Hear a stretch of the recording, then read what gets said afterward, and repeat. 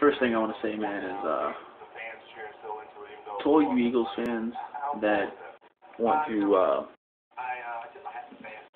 you know, pick against the Eagles, against the team that's most hated of all, you know, to any Eagles fans that want to downplay this team's potential and what we can be, not wanting to uh, accept the fact that the, the, the four game skid that we were in was not the real Eagles team that this team can be, downplaying our potential.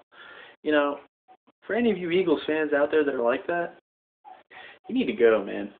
I'm just being honest, man, because I'm tired of hearing Eagles fans, you know, doubting this team, picking against this team, especially against the Cowboys. Are you kidding me? whatever, man. I ain't got time for you no more. But with that being said, man, don't start raising, you know, waving your pom poms now and everything that we're starting to turn shit around. You know, keep your pom poms, you know, in your little closet, or you know, you know, waving for another team. Because it just, just makes me sick as an Eagles fan to see another Eagles so Eagles fan doing this type of shit just because we're in a little slump. Whatever, man. What? Whatever. But with that being said, man, um, one thing I want to talk about before I talk about the game is the fact that uh, Rob Ryan, you know, now I, I love Buddy Ryan for obvious reasons. Buddy Ryan's a man. Um, I like Rex Ryan, but Rob Ryan, man, I, I lost what respect I had for you after uh, we sign a couple players and you want to start running your mouth for no damn reason, calling us the all hype team. And, uh, you know, that little bit of respect I had went out the window, went out the door.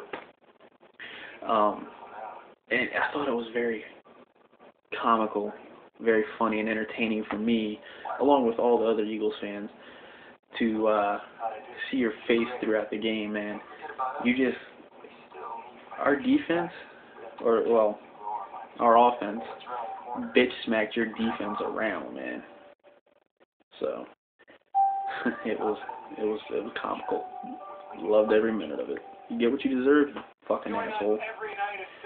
But anyway, uh, about the game, man. I think uh, the key, the number one key to the game last night was the fact that Brent Celek went back to his old face mask. Did anybody notice that?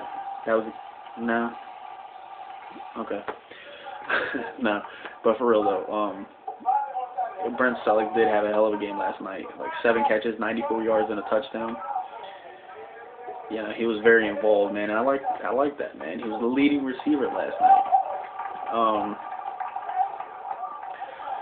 so it was good, man. It was good. It was a good game. He had a hell of a game.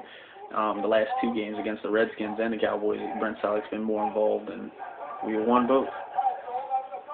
Sense, I don't know. It's the face mask, but anyway, Shady, 185 yards, two touchdowns on the ground, and now Cowboys had the number four, going into the game had the number four rushing defense, but we had the number one rushing offense, man.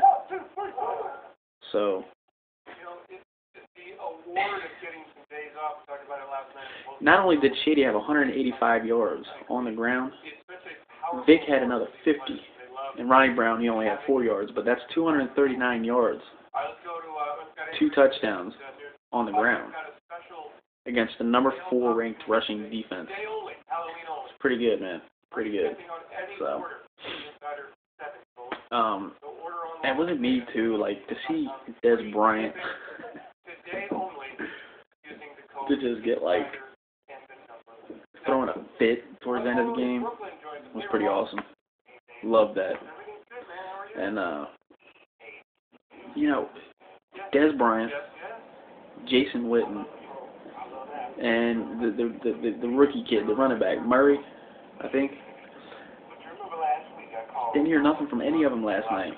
And if it wasn't for Robinson having that one touchdown, guys would and it was a 70 yard touchdown. Yeah, I'm kind of, you know, a little bit upset about giving up that one pass, that one play that would have gave us a shutout if we would have prevented that.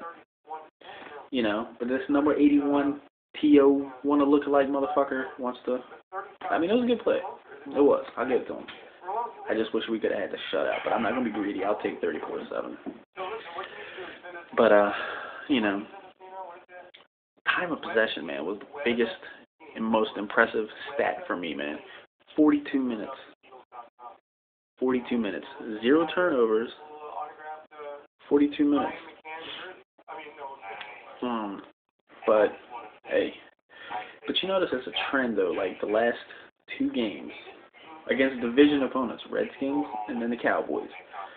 Last night we had 42 minutes time of possession. Against the Redskins we had 38 minutes time of possession.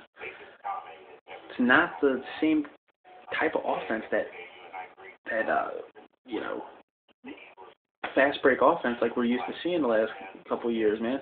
We're actually controlling the clock, keeping the ball on the ground a whole lot more. It's a whole lot more balanced offense. Um, you know, with Shady running the ball and, and well, Vick too. But uh, you know, it's a whole hell of a lot more balanced offense. We're able to control the clock, control the clock. Keep the ball in our hands, you keep the ball out of the other team's hands. Therefore, it limits their chances to scoring unless you know.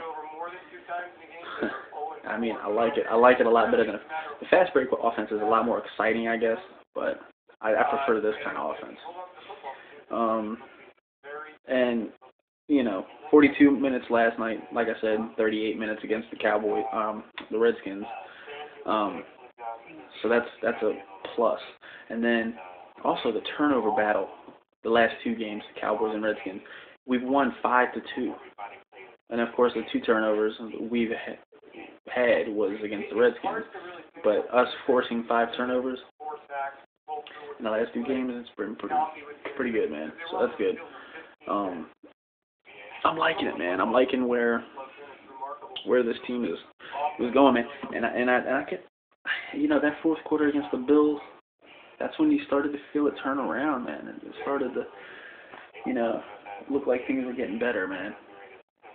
So things are on the up and up, man. So it's still one game at a time.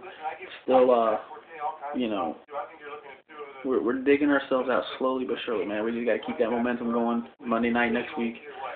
Chicago. We can do it, man. We can do it. And I've been having, I'm telling everybody, man, don't expect this team to keep playing the way they were. It will get turned around. And so far, so far, through two games and a quarter, this team has looked a whole lot different and a whole lot better, man. 54 to 20, we have outscored the Giants. I mean, um, the Redskins and Cowboys, 54 to 20 in the last two games. So, yeah. Just look at the numbers, man. The numbers don't lie. Plus, this team is playing a whole with a whole lot more confidence. Just listen to them talk, man. Their interviews, press conferences. Just listen to them. They're getting that confidence back, that that little swagger, you know. It's coming. I'm telling you, man. Once this team fully clicks, we're going to be.